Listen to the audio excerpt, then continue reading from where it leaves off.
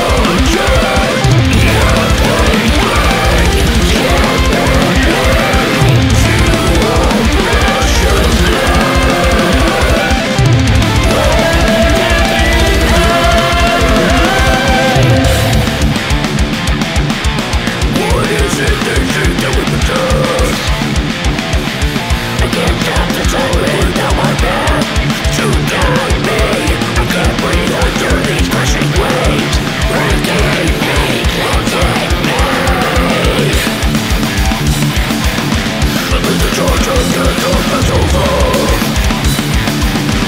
Here it is